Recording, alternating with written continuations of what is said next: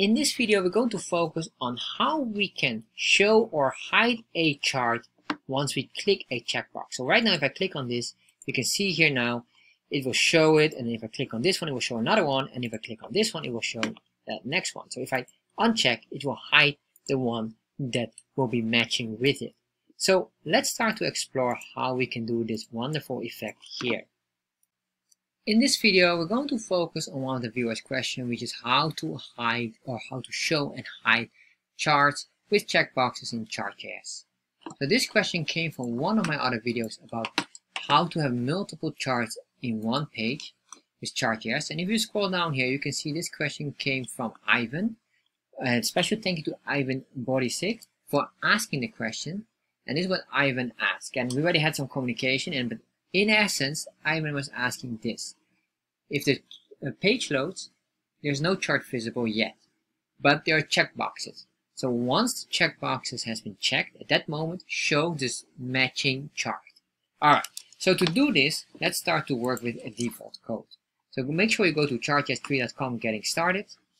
And you might notice this, for some reason, Google Chrome gives me this error. But anyway, let's copy this code here and if you want to understand what this code does, make sure you watch this specific, specific video that explains it all.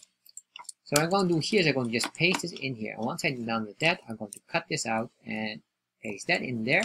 All right.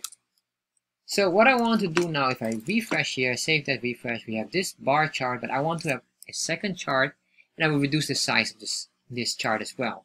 To reduce the size, chart box, put this on 400, that will be fine. And then I will duplicate this here. You can see here my chart. Put it here, say number two, and I will also add up a config number two, and of course the get element by ID number two, because there's a second canvas we're going to put in there. For this, for the config, I will just put in here number two. Why? Because I want to make sure that this has a different type of chart. It's a line chart. The data will be maintained, meaning that it will grab the original data here, so it will be very similar. So then what I want to do here in this, I just want to add up here another canvas, and this canvas called number two. Save that, refresh, there we are. So now we have our charts, or two charts here, two different charts. Let's put in here now checkboxes. To do this, I'm going to copy this here, just paste that in there and have a div. And then I will say here paragraph, and in this paragraph, I'm going to say checkbox, or input type checkbox.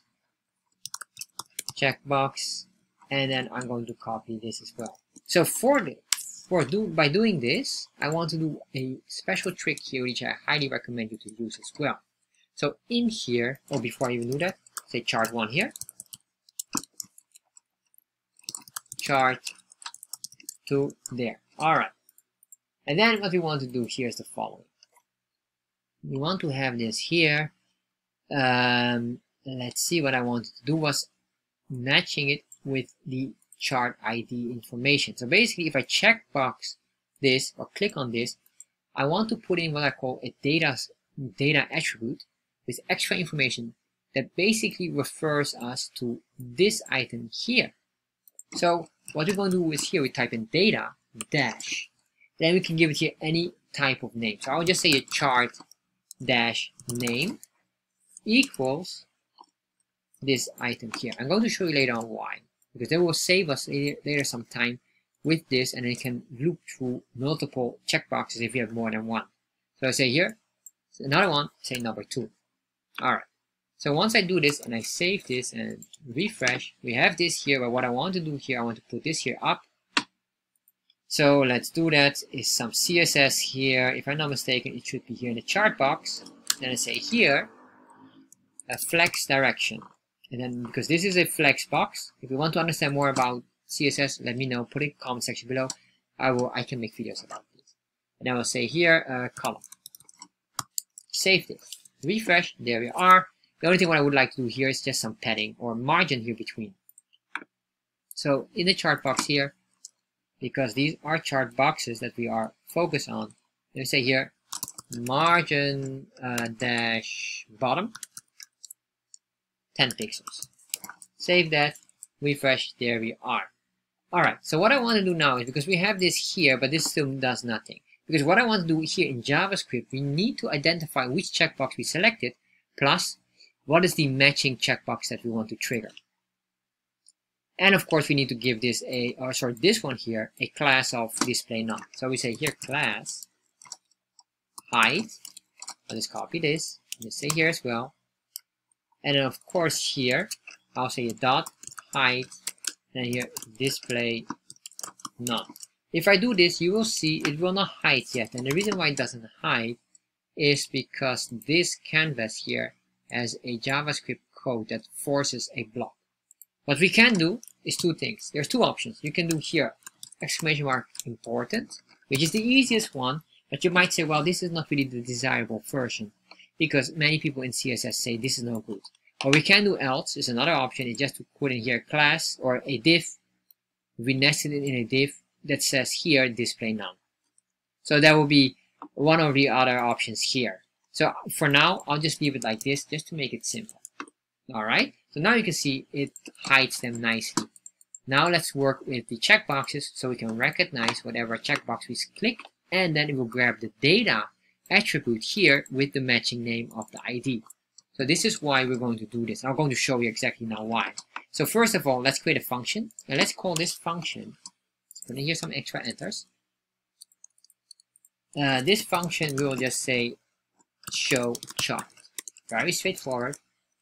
Then in here, I want to use here, I'll say here, this is a checkbox parameter. However, it means still nothing. But if we go up here, I'm going to show you now what we're going to do here. We're going to say here in the checkbox, on click function.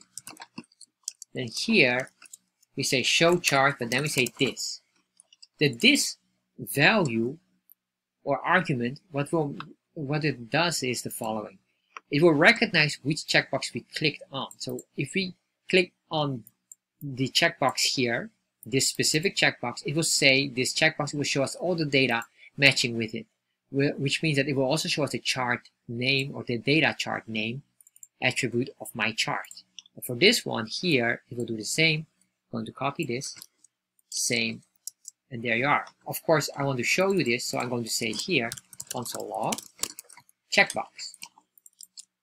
Copy that, save that, and then refresh. So now, if I here on the console log, click on that, you can see here, we get the data chart name equals my chart. So how can we extract the exact value here? Let me show you how to do that. Basically, it's the following. It's here, or we can just do it in here. We just say a dot. And remember, when we have this, well, let's grab this uh, data attribute here. I'm going to copy this full, put it here down. So this part is essential. No matter what, you cannot skip this part. So this is a required one. This here, the chart name, can be anything. Can be chart, ABC, or just only chart. The reason why I'm doing now two words is because we're going to use something here. And the dashes are required if you do two words, but then you will have to do something else here. So first of all, this data dash is called data set. then we have a dot.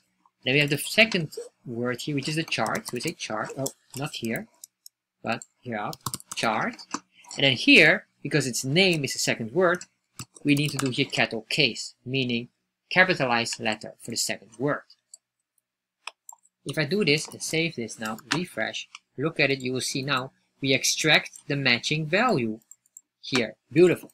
So now with this, we can start to work. So all what I want to do here is basically, well, let's say here chart ID. Let's give it a constant. I'll say equal basically this one here. So now if we have this here, or we could even do this, document dot get element by ID, what's the ID name? Well, the one we just grabbed. Put in this here. So now we can specifically get that one. And then what we want to do is basically toggle and toggle here on this class here. So what we're going to say here is the following. If what I want to do here is basically checkbox, whatever we selected, dot checked equals false, equals strict false. By default, it is set on false. If, if that is the case, then what I want to do is I want to say this chart ID dot class list uh, toggle. No, I guess we can do, we don't even need to do toggle here or here, or we don't need to, we need to set it on true because it is unchecked by default. So what will happen then is if we check it, that's the toggle effect because toggle cannot, this uh, cannot figure out if it's true or false. Oh, I guess we have it here. That's already, this already does it. But if it's toggle here, so in that case, it doesn't matter basically. So if it's a toggle, then we want to toggle this uh, item. We want to toggle height. So now class list toggle height. All right. So let's say this. Refresh. Click on this. All right. Height is not defined. Toggle the class of this. Save that. Refresh. Click. Never unclick. All right. So we have an issue here, or maybe we can even do this. I guess we could even do this. Sorry about that. I guess we don't even need to do that. We can just refresh here and then we toggle and toggle on another one. Of course, that's the way we do it. Sorry about that. So this is basically how we do it. So imagine, because you can see here, this is chart two. Imagine you have another chart. Let's add another one here. Chart number three. And this could be chart number three. And chart number three has as well config number two. And then here we can copy this. Put in here chart number 3 ID. And the same here. Paste that here and then we say this equals number 3. Refresh. Click number 3, alright, and then click number 2, alright. And finally this one. And then you can see here, of course, our item is 2 overlapping, so that's why it shows like this. But anyway, this is basically the way you can do it. And if I remove one, and I show this one, let's say I want to remove that one, there you are, and I remove this, there you are, and that. This is basically the way you can play around with showing and hiding a chart in with checkboxes.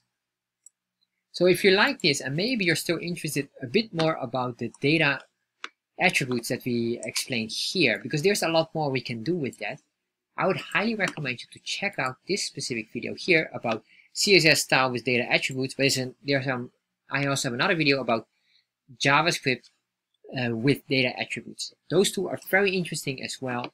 Absolutely recommended to check them.